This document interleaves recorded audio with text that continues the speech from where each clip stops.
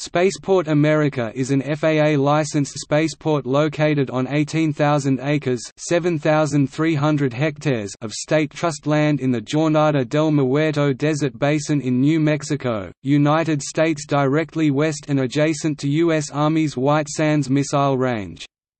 It lies 89 miles (143 kilometers) north of El Paso, 45 miles (72 kilometers) north of Las Cruces, and 20 miles (32 kilometers) southeast of Truth or Consequences. The site has been described as the world's first purpose-built commercial spaceport because it is the first spaceport designed and constructed specifically for commercial users that had not previously been an airport or federal infrastructure of any kind. The site is built to accommodate both vertical and horizontal launch aerospace vehicles, as well as an array of non-aerospace events and commercial activities. Spaceport America is owned and operated by the state of New Mexico, via a state agency, the New Mexico Spaceport Authority. Current tenants of the spaceport include Virgin Galactic while UP Aerospace and Armadillo Aerospace have all operated from the spaceport. The site's major tenants have experienced problems or change of plans in development of their programs and technologies, resulting in spaceport revenue far below projections, and a political controversy about what to do with the expensive government-built spaceport. Spaceport America was officially declared open on October 18, 2011, and the site became fully accessible to the general public in June 24, 2015 with a paid tour known as the Spaceport America Experience.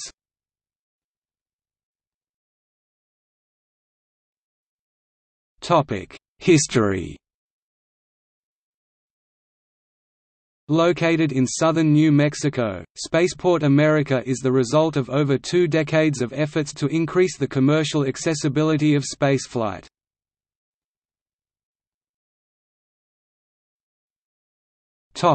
Inception The spaceport's initial concept was proposed by Stanford University engineering lecturer and tech startup advisor Dr. Burton Lee in 1990. He wrote the initial business and strategic plans, secured $1.4 million in seed funding via congressional earmarks with the help of Senator Pete Domenici, and worked with the New Mexico State University Physical Science Laboratory (PSL) to develop local support for the spaceport concept. In 1992, the Southwest Space Task Force was formed to advance the New Mexico space industry's commercial infrastructure and activity. After several years of study, they focused on a 27 square mile 70 square kilometers plot of state-owned land, 45 miles 72 kilometers north of Las Cruces, as a location for the spaceport. In 2003, the task force petitioned new Economic Development Cabinet Secretary Rick Homans who then picked up the torch. Homans presented the idea to State Governor Richardson and negotiated with the X Prize Foundation to locate the X Prize Cup in New Mexico. Following an announcement by Governor Richardson and Sir Richard Branson that the new Virgin Galactic would make New Mexico its world headquarters, the state legislature enacted laws providing for the world's first purpose-built commercial spaceport in 2006. The spaceport was branded Spaceport America. Topic: Construction.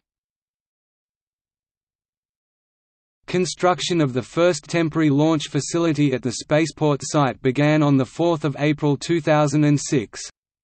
Early operations of the spaceport utilized this temporary infrastructure, some of it borrowed from neighboring White Sands Missile Range. In early 2007, red tape was still in the process of being cleared and the spaceport itself was still little more than a 100-foot (30 meters) by 25-foot (7.6 meters) concrete slab.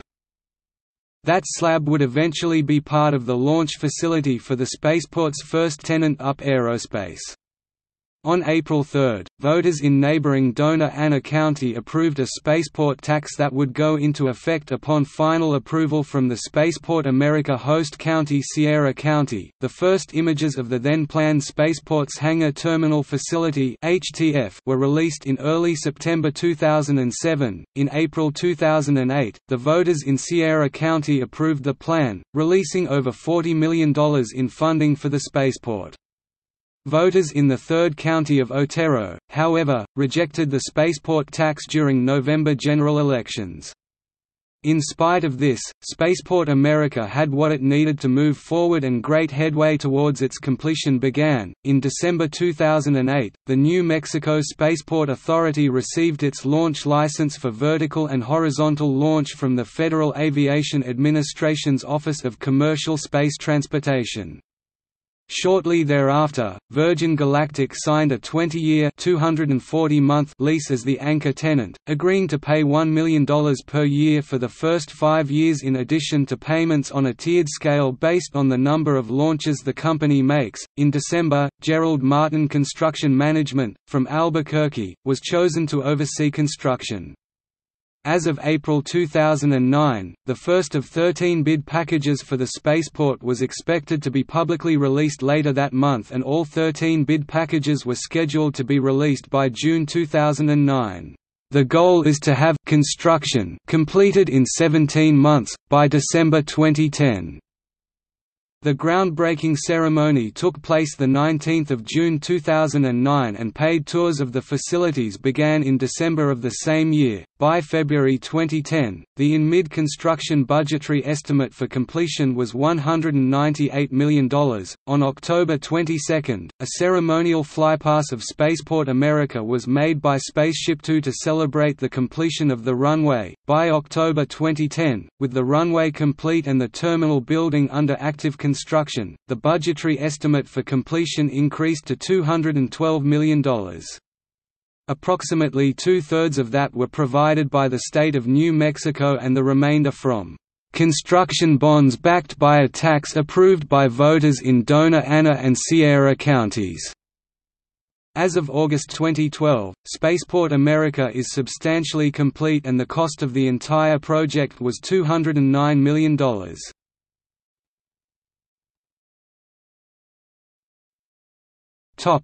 Increased private funding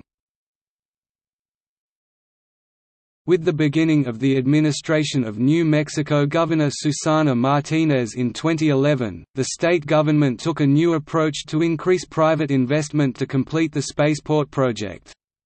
In order to oversee the new effort, Governor Martinez appointed an entirely new board of directors for the Spaceport Authority and removed Executive Director Rick Homans. By 2013, the spaceport had signed SpaceX as an additional tenant for vertical takeoff and vertical landing flight testing of prototype reusable rockets such as the Falcon 9 reusable development vehicle.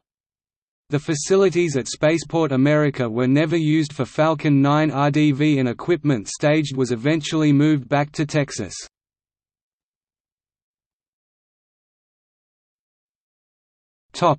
Delays in operation of the anchor tenant There have been a series of delays in Virgin Galactic beginning flight operations at Spaceport America. The multi-year extension of the test program and the redesigned engine announced in May 2014 were responsible for much of the delay. In 2014, the spaceport announced that it was seeking additional tenants and hoped to sign another one in the next year. Budgetary difficulties in operating the spaceport have become salient in New Mexico politics.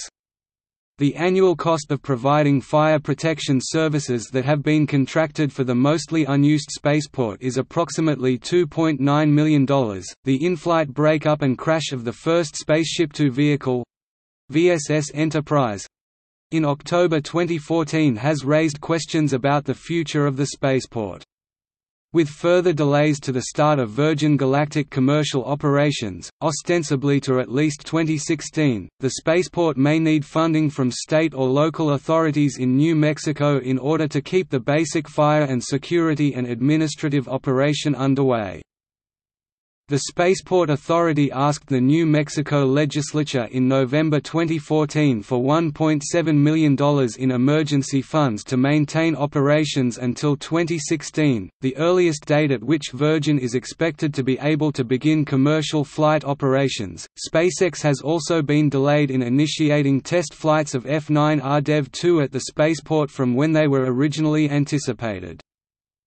In May 2015, budgetary details made public revealed that the substantially unused spaceport has an annual deficit that has been running approximately $500,000, with the deficit being made up by state taxpayers.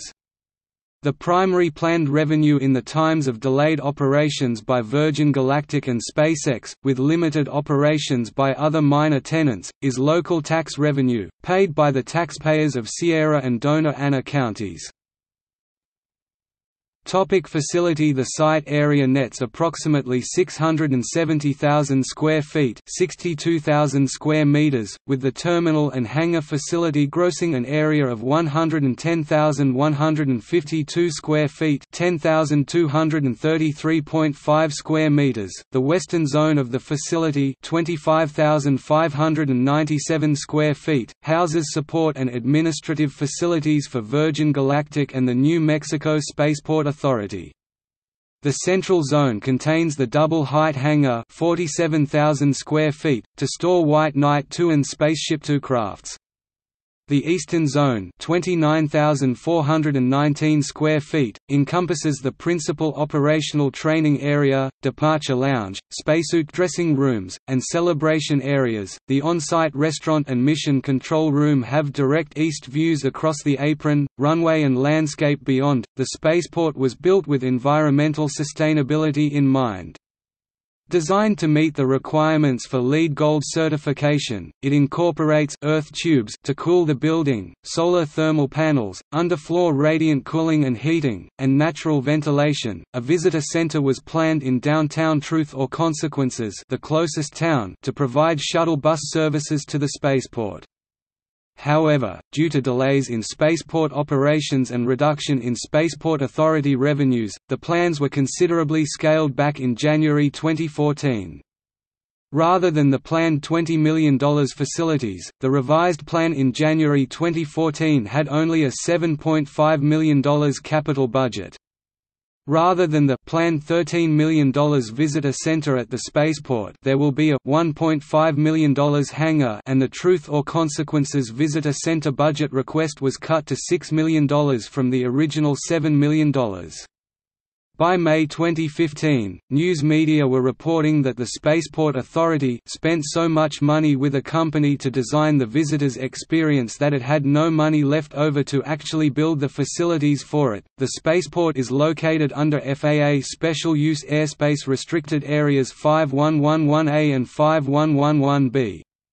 When both these areas are active the airspace is restricted from surface to unlimited.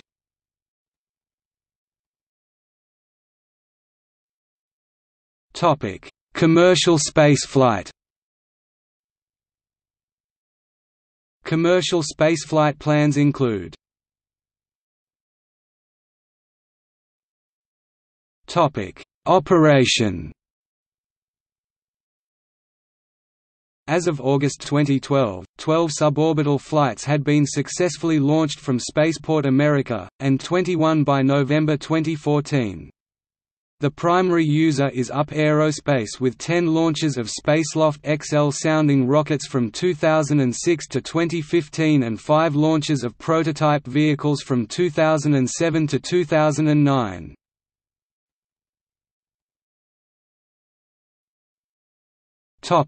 Spaceport revenue In order to repay the construction bonds and eventually meet operating expenses from spaceport operations, the Spaceport Authority has forecast a number of revenue streams. These include lease payments, takeoff and launch payments, tours, etc. However, anchor tenant Virgin Galactic had paid only $2.7 million in facility lease payments as of November 2014, and was projected to pay $50,000 to 100,000 for each six-passenger flight of Spaceship Two once flight operations begin.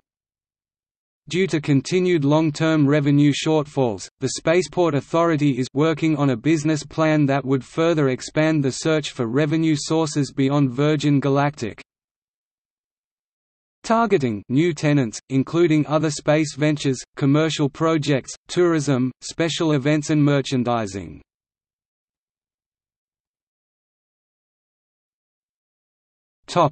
Spaceport operators As of late 2014, four entities have operated, or announced plans to operate, from Spaceport America.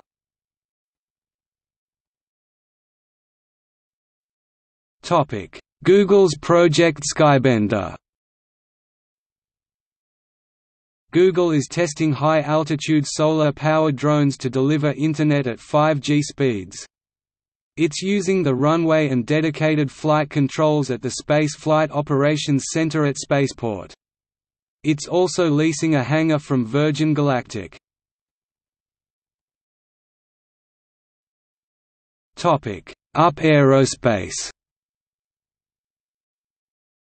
From the early stages, the spaceport has been host to several vertical launches by Up Aerospace.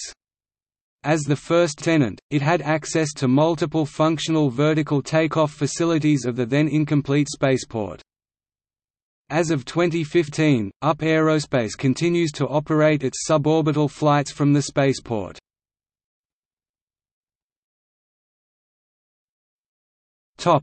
Virgin Galactic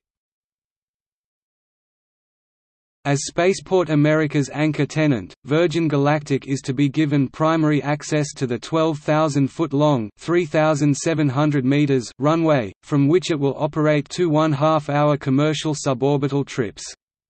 As of February 2011, Virgin Galactic has accepted over 400 reservations and collected $50 million in deposits. Virgin Galactic's suborbital ship, Spaceship Two (SS2), is carried by its mother craft White Knight 2 (WK2) to an altitude of 50,000 feet (15,000 meters) before being released on a suborbital trajectory under its own rocket power. Spaceship Two's launches will apex 70 miles 110 kilometers from the Earth's surface at more than 3,200 kilometers per hour 2,000 miles per hour. Customers will take part in three days pre-flight preparation, bonding, and training on-site at the spaceport. As of January 2012, Virgin Galactic planned to directly employ about 150 persons at the spaceport site. In May 2014, Spaceport America and Virgin Galactic signed an agreement with the Federal Aviation Administration to regulate routine space missions launched from Spaceport America, setting out how they will be integrated into the National Airspace System. Virgin plans to initially fly every six weeks. Virgin Galactic flight operations at the new spaceport have been delayed several times, and as of November 2014, have not begun nine years after the Virgin project was initiated. An October 2014 in-flight breakup of VSS Enterprise the first flight article Spaceship Two during a test flight at Mojave Air and Spaceport in California, has further delayed the start of Virgin suborbital space flights from Spaceport America. In 2013, Virgin Galactic had planned for a 2015 flight to Stage Zero G Colony, a music festival featuring Lady Gaga. However, this never occurred when Virgin did not get to passenger flight operations.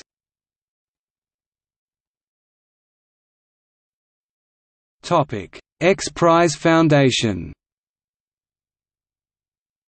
Back in 2005, Spaceport America was expected to be the annual venue for the X Prize Cup suborbital spaceflight competitions, once it was fully operational. That series of competitions never materialized. SpaceX in May 2013, SpaceX announced that the higher altitude, higher velocity part of the Grasshopper flight test program would be done at Spaceport America near Las Cruces, New Mexico and not at the federal government's adjacent White Sands Missile Range facility as previously planned. SpaceX signed a three-year lease for land and facilities at the newly operational spaceport. SpaceX indicated in May 2013 that they did not yet know how many jobs would move from Texas to New Mexico. SpaceX began constructing a 30 meters times 30 meters, 98 feet times 98 feet pad at Spaceport America in May 2013, 7 kilometers, 4.3 miles southwest of the spaceport's main campus, planning to lease the pad for $6,600 per month plus $25,000 per test flight. A third flight test vehicle, F9 RDEV 2 was initially planned to be flown only at the high-altitude test range at Spaceport America and at altitudes of up to 91,000 meters (300,000 feet). In September 2014, following the destruction of the F9 RDEV-1, SpaceX changed the plans, so the F9 RDEV-2 vehicle would fly first in McGregor for low-altitude testing. The initial FAA permit to fly the Falcon 9 reusable development vehicle at McGregor in Texas was open until February 2015. In May 2015, a specialized press article stated that due to the technical success of the landing attempts on the sea on the Autonomous Spaceport Drone Ship ASDS, SpaceX was planning on using the New Mexico site for testing the return stages. But to date, no work has occurred at the facility. On 19 February 2015 SpaceX announced that the F9 RDEV-2 would be discontinued.